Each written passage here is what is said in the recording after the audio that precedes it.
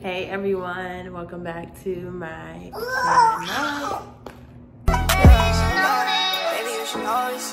that I ain't going. Going. I ain't blowing no smoke.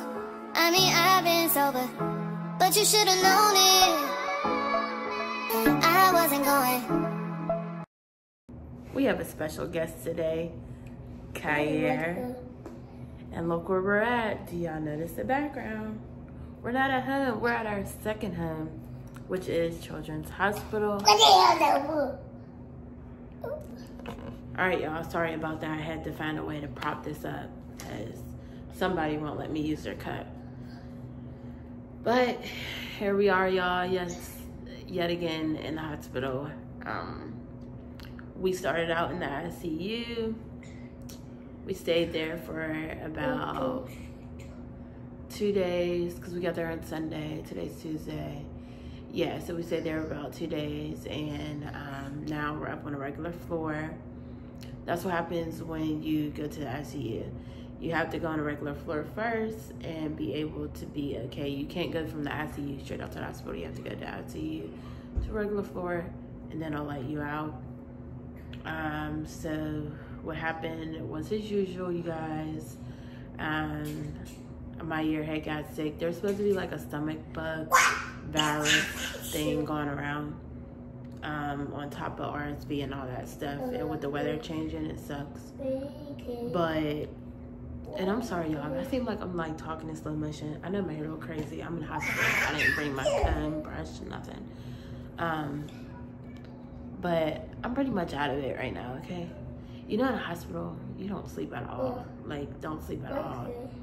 They come in like every two hours. It does like do like vitals and like check on them. And then the first night is always rough because Kier has all this stuff hooked up to him. Half if you ever seen a video where he has this thing up his nose, like half flow, gives open up his lungs.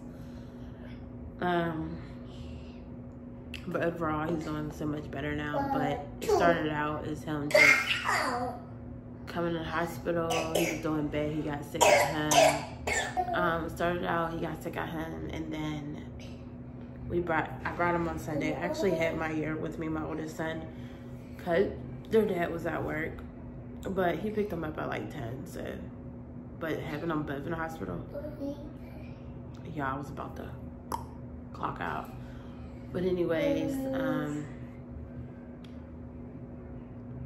what I was saying was why I'm going to like slow motion right now is because I'm so freaking tired. Like I'm so tired. You know, they wake you up like every two hours, stuff like that. Um, and then yeah, you just like barely sleep when you're in the hospital.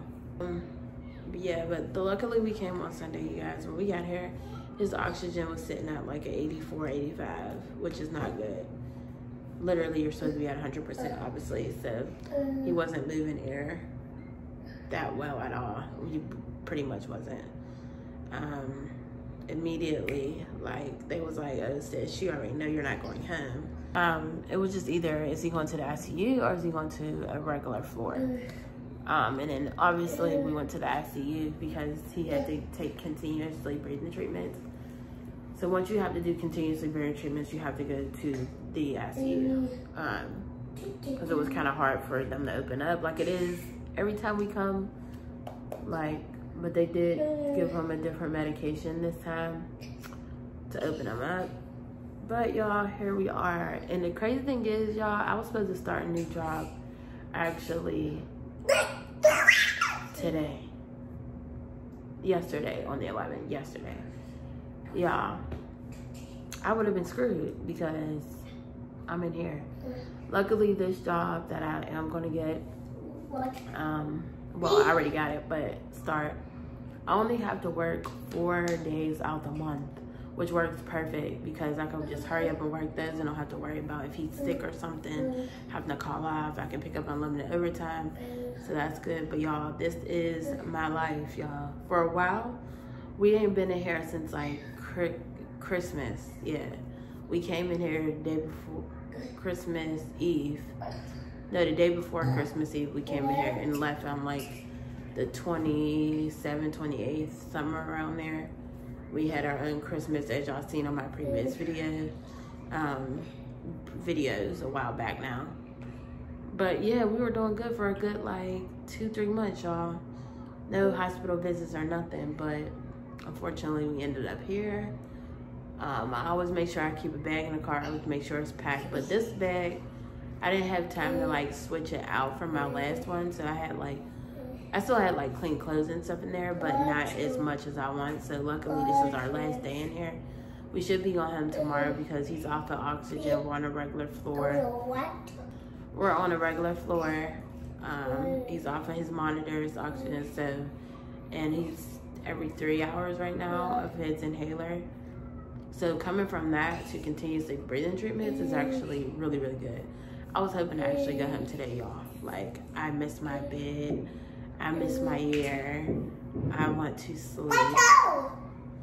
I'm just like so unrested in the hospital, but it is what it is. Like, that's what happened. Um, he actually was supposed to have an appointment with the severe asthma clinic um, that he's now moved to, but unfortunately, um, but unfortunately he wasn't here, so he didn't go see them.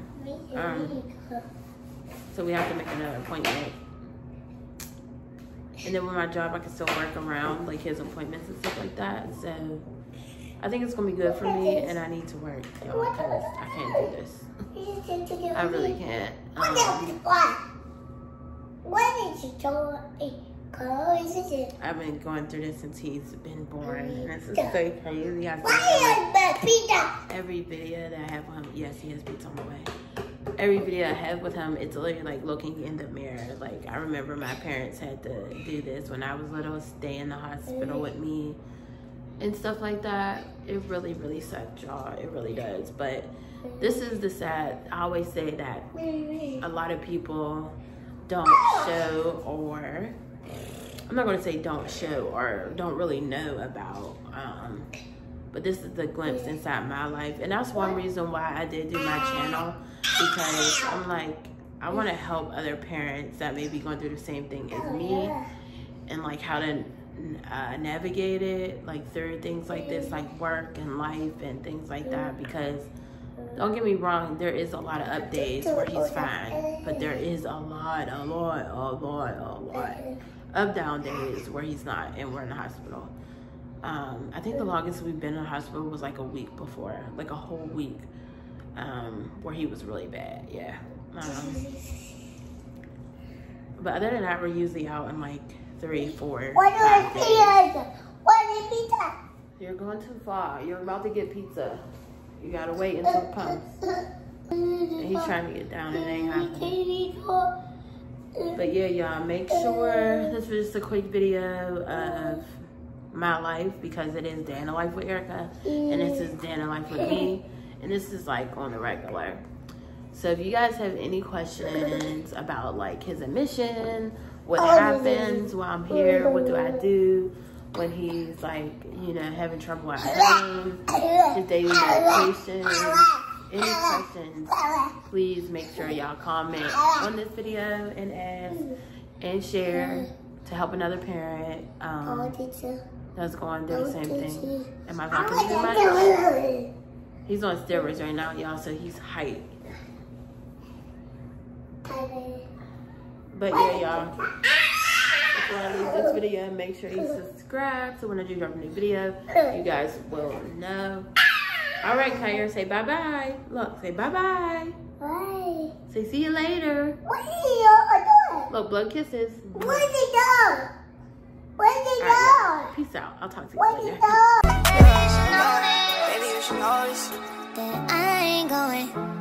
I ain't blowing no smoke. I mean, I've been sober, but you should've known it. I wasn't going,